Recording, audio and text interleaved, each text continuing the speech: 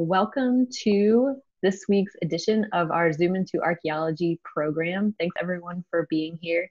Um, as most of you probably know, this has been the Florida Public Archaeology Network's answer to doing public outreach and education in the time of social distancing.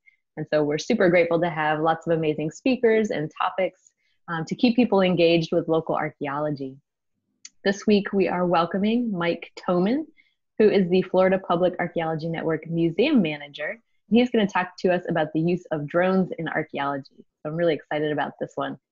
Um, just a couple of housekeeping things before we go ahead and get started.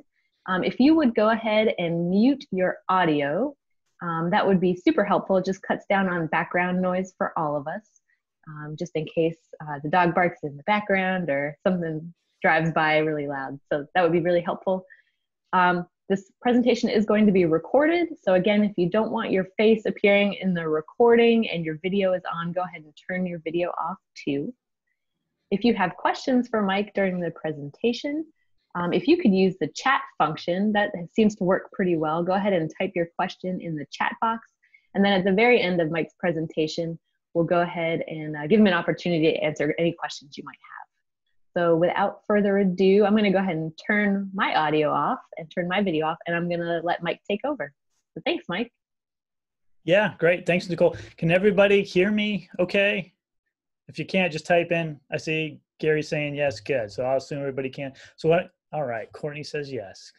Uh, well, uh, it's good to be here. I wish we could do this in person, but you know, this is how it is right now. So what I'm going to go ahead and do right now is uh, share my screen with everybody, and hopefully you all can see it. If you can't see it, please let me know. And shared. Okay, so you should be seeing my my presentation. Uh, if you guys don't see my presentation, just please let me know in the chat. I'll give it a couple seconds. I'm assuming you guys can see it.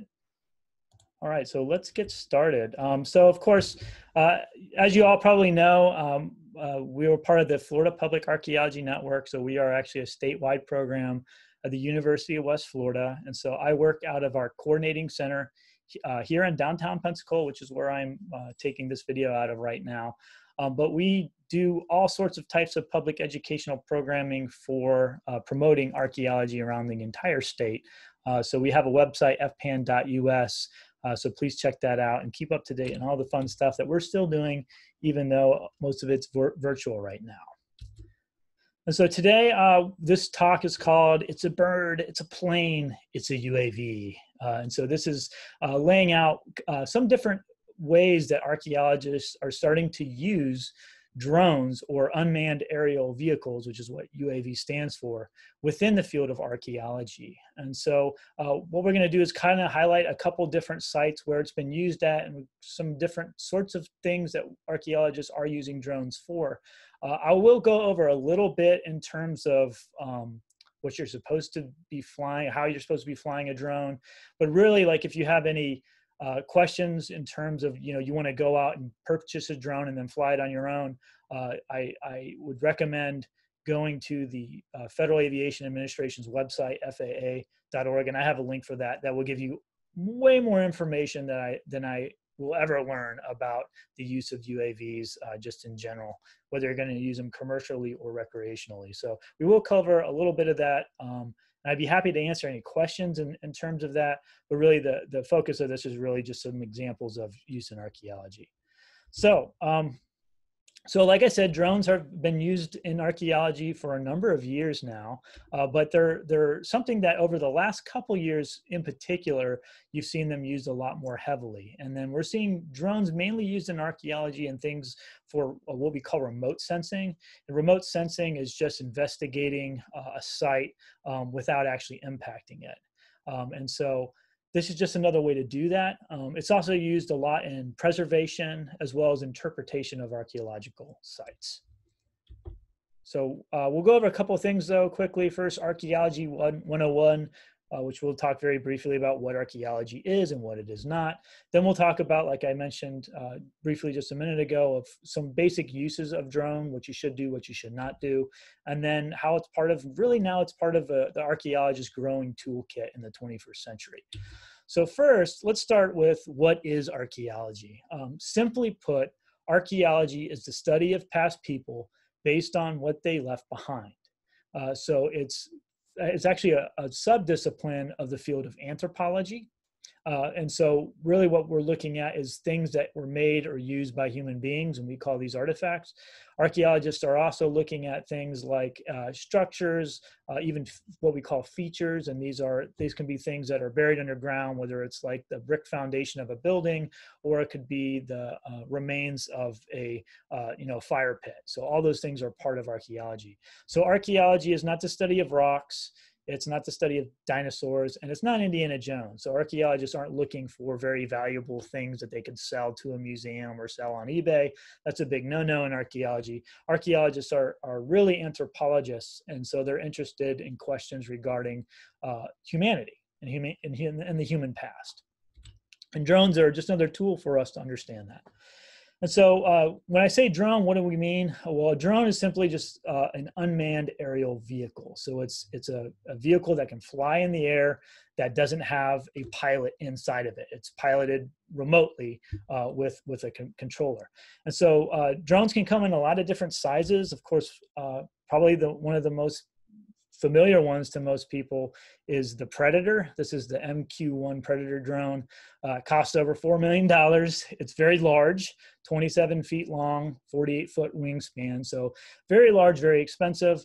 Uh, but over the years, drones have come down uh, in size and come way down in price, and they've been used for more recreational or commercial purposes, even though they were initially developed for military purposes. And so this is an example of a small drone. Uh, this is the DJI, which is a company that makes a lot of different drones, including the one, one of the, uh, the one that we have at FPAN. This is the Mavic Air. As you can see, it fits in this person's hand. So it's very small and it's uh, you know under under $800 so it coming way down in price. Um, so there's a lot of uses for drone. Again a lot of people use it for recreational purposes. Uh, it's also used in commercial situations including archaeology. If it's a cultural resource management firm they're starting to use a little bit more. But regardless of whether you fly drones strictly for fun or fly it for you know whatever business you might own uh, there are certain rules, basic rules that you have to follow. Uh, so it's just a quick, quick few things. So all drones are required to be registered with the FAA and marked on the outside with their registration number. Um, you uh, are you're actually limited on the altitude. It's fly 400 feet or below. You cannot go over 400 feet without getting like special permissions to do that with FAA, which is not easy you're supposed to always keep a visual line of sight of the drone. So uh, the drone that we have, the Mavic uh, Pro, um, it, has got a, a, distance of eight kilometers. But of course, like if I flew it eight kilometers away, I wouldn't be able to see it. So you're actually required to be able to physically see it while it's in the air. And then to know your airspace, make sure you're not flying in any areas that are restricted. Um, there's also a lot of things that you should not do, like fly over large groups. Uh, you should never fly under the influence. Uh, you should never fly near emergency operations or near restricted airspace. So if the military's, you know, along the military base, or if there was just a hurricane that came through and the FAA and FEMA's decla- declared a national emergency, uh, you're not allowed to fly during that either. So there's a ton of other rules it's constantly changing so it's something you have to keep up with if you do get involved in flying drones. Um, and like i said there's there's tons of other rules there that i won't go over but the best thing you can do is go to that link that i just put up there is faa.gov backslash uas backslash and that will give you all sorts of information about registering a drone and the rules you're supposed to follow. Uh, and so that again these apply regardless of whether you're doing it for research or commercial purposes or recreation Okay, but drones really are just becoming part of the toolkit of 21st century 21st century archaeologists. So just like GPS, global positioning system, um, archaeologists use that all the time. We use that all the time in our every, everyday lives. Uh, GPR, which most people are probably familiar with what that is, it stands for ground penetrating radar. That's uh, pretty typically used on archaeological site sites now. And basically, this is a device that's able to uh, send radar signals into the ground. It bounces off of stuff that's buried underneath, and then it can give you an idea of, of a, a ground disturbance in their ground basically is what it does and, and pxrf uh, is another tool that's used in archaeology that's that's allowing archaeologists to do things like figure out exactly where pieces of stone or pieces of pottery may have been sourced from and so just like all those other tools that archaeologists have adopted um, from other sciences, drones are just another one of them. Okay, so we're going to cover a couple different uh, sites and, and some examples of what they're using these drones for uh, in terms of mapping and survey, uh, photogrammetry, and what we call LIDAR. And I'll explain what those all are as we get into them. So first starting with uh, uh, mapping and survey, um, it's important to note again that this is all part of remote sensing. So it's, it's, it's not disturbing a site, it's being able to investigate sites without actually impacting anything. Uh, and so GPS, GPR, uh, side scan sonar, magnetometers, those are all considered remote sensing devices, and drones are just another one of them. But our ideas of drones have obviously changed a lot over time probably, of course, drones have been a, around for quite a long time. Uh, really, drones as we know them today have been around since a little bit before World War II. Um, but most people, up until probably the last five to 10 years, when they think of drones, have thought of them as being used for military purposes. Uh, really, drones didn't come part of the kind of public consciousness until probably the the uh, War on Terror in 2001, and that's where you start seeing these cartoons with you know drone predators with missiles on them, and now of course. Uh, people see drones as impacting the shipping industry, like in this uh, little cartoon right here. So um, people have always kind of been wary of new technology and drones are no different uh, but it's something that is probably going to become more regularly part of everybody's daily lives. Uh, of course it's good to have some concern about that. Um, we always need to ask questions and make sure we're doing the right thing. But again this is just another technology that is allowing us to do really cool things with although there's some kind of scary sides to it too so first, in terms of mapping and survey, we're going to look at a couple, couple different examples of that. And first, we're going to turn to uh, St. Augustine, Florida, America's second oldest settlement, with Pensacola being first. I like to always point that out.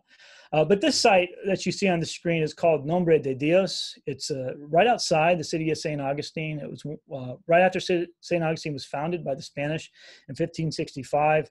Uh, within the first decade or so, they built one of the first missions uh, at, at this site, Nombre de Dios.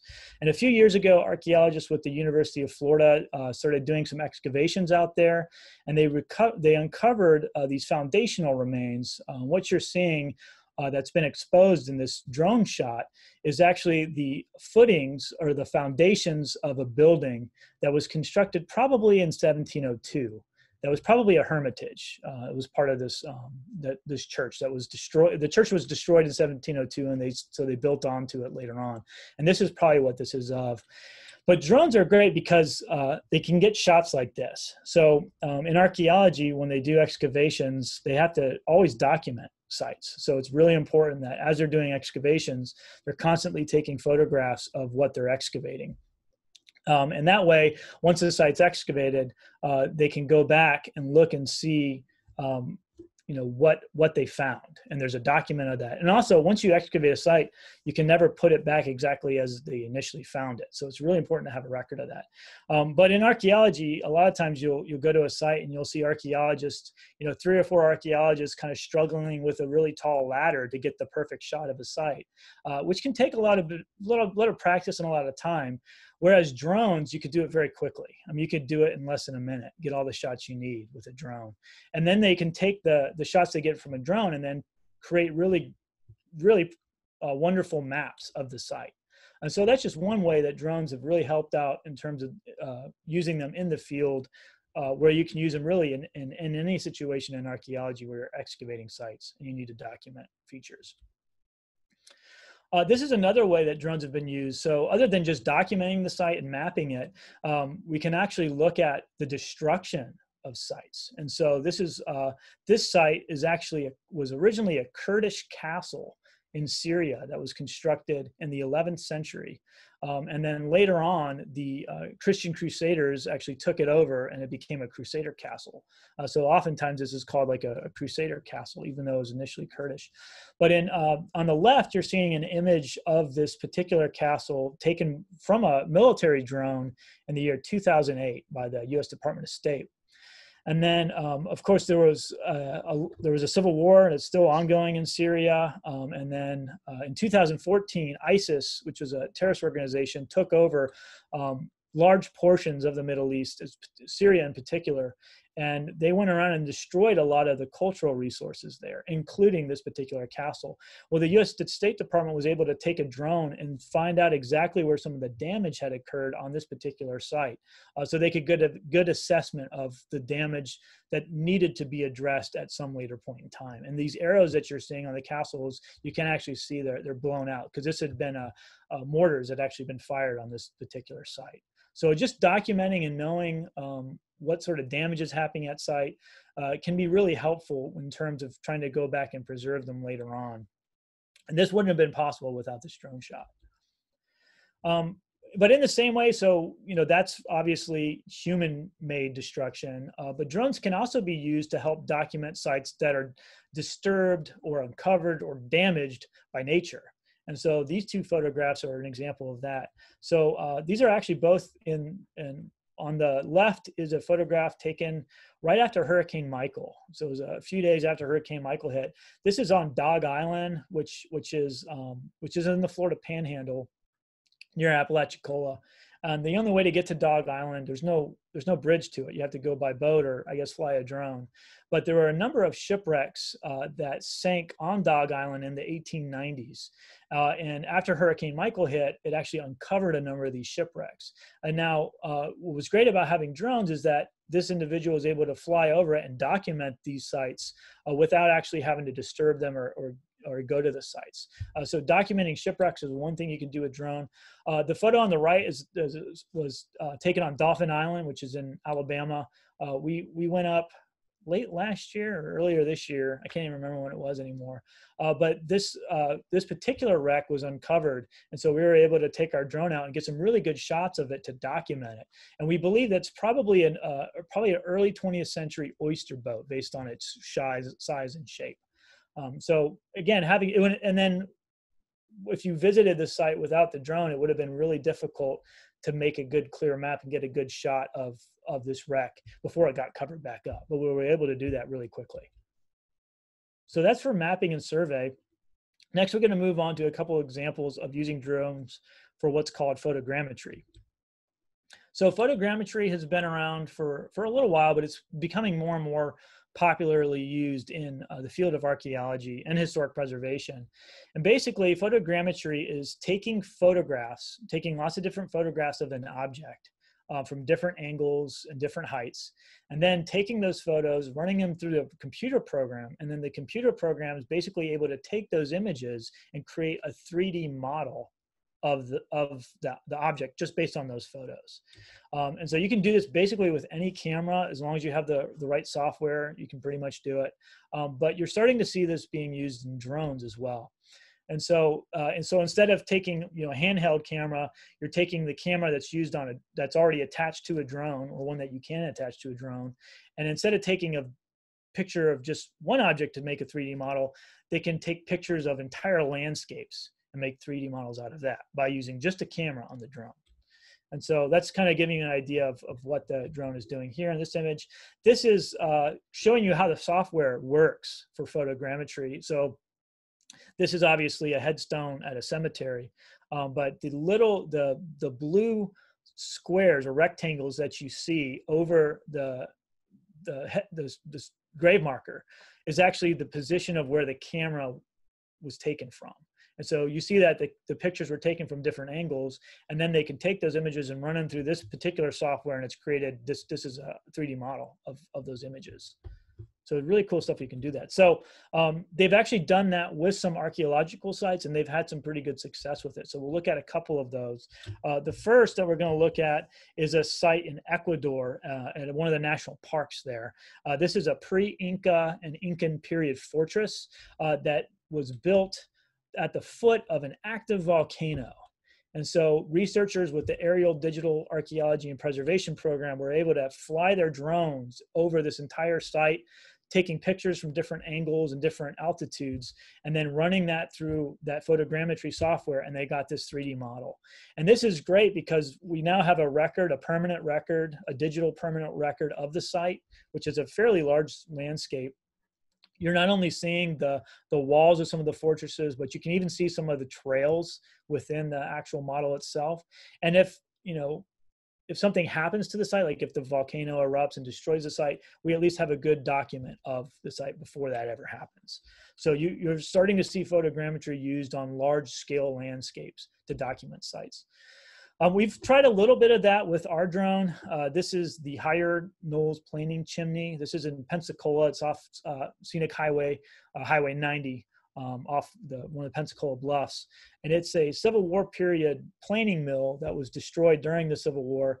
Um, and what's left of it above ground, at, at, least, is this chimney that was part of the planing mill. Um, we took our drone out there last year to try to get some shots of it. Uh, we weren't able to get a get a really good model from the photos so we're getting better at that now. And a lot of it has to do with the time of day that you go on and how the shadows or how the light hits the, the object you're trying to capture. So um, we're still kind of playing around with that model but hopefully uh, we'll be able to get uh, a good 3d model of this particular um, ruin.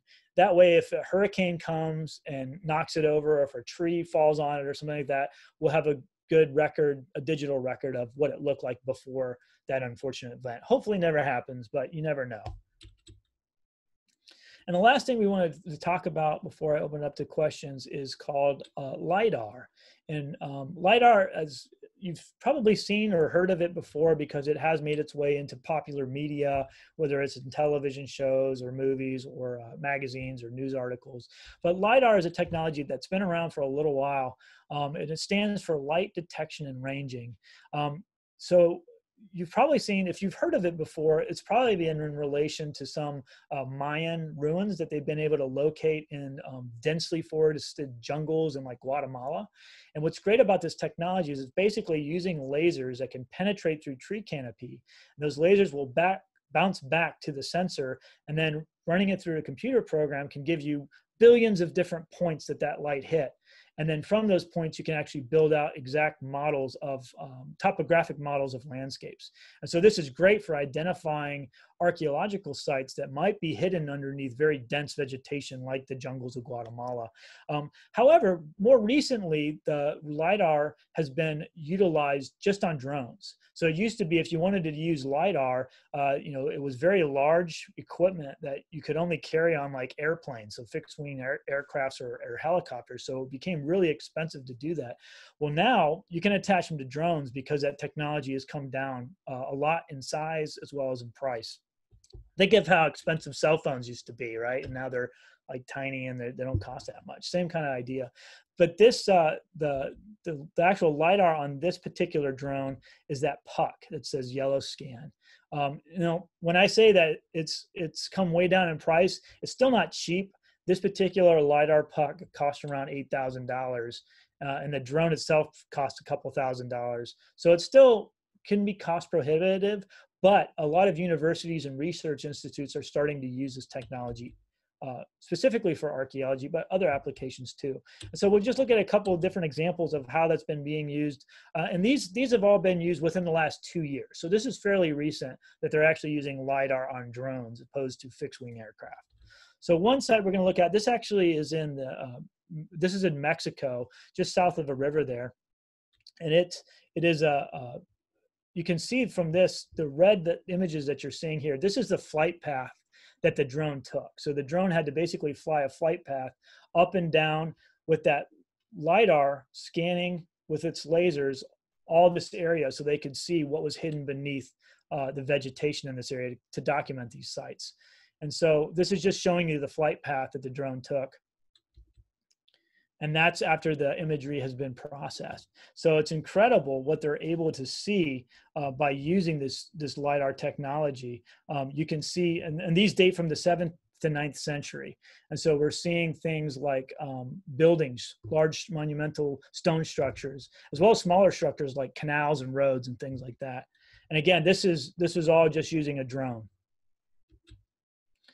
Uh, the same thing they've done over, and uh, this is a site in Colorado. This is a Pueblo site that dates from the 1200s to 1300s. It's at a site called Sand Canyon Pueblo at the Canyons of the Ancients, which is a, a national monument out there.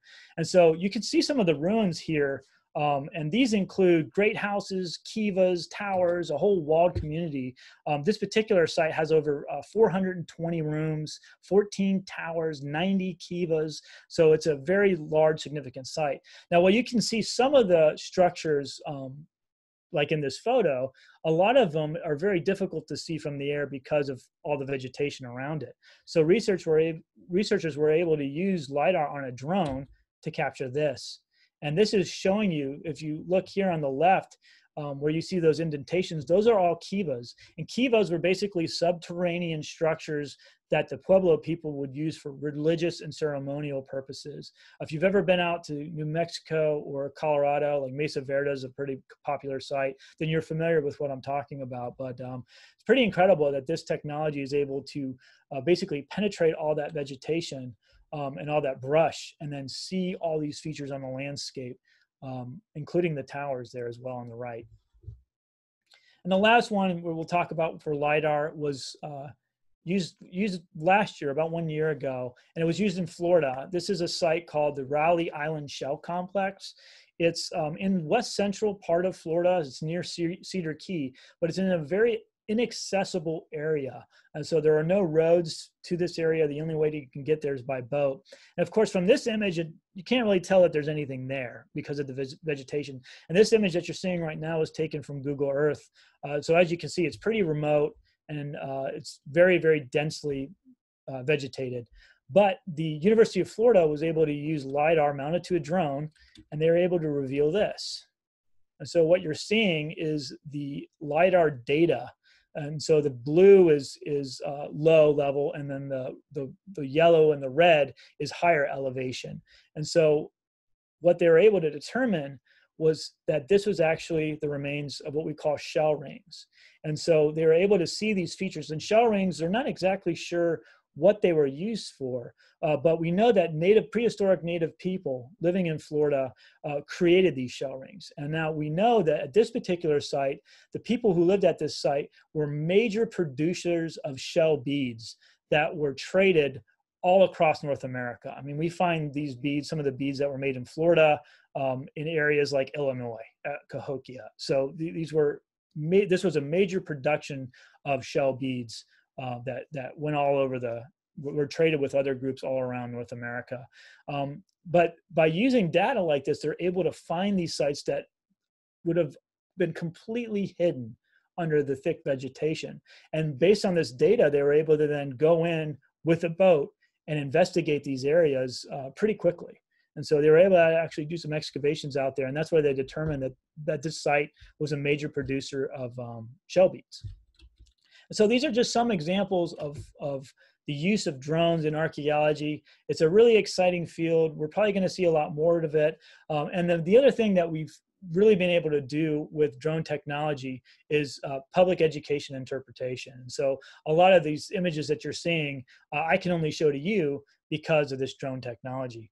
And with that, uh, that's pretty much all I have for the presentation. So I wanted to open it up for questions and uh, I'd be happy to answer any questions you all might have. And I'm gonna go ahead and stop my um, screen sharing so I can look and see if there's anything in the chat. Awesome. Thank you, Mike, for that great presentation. Sure.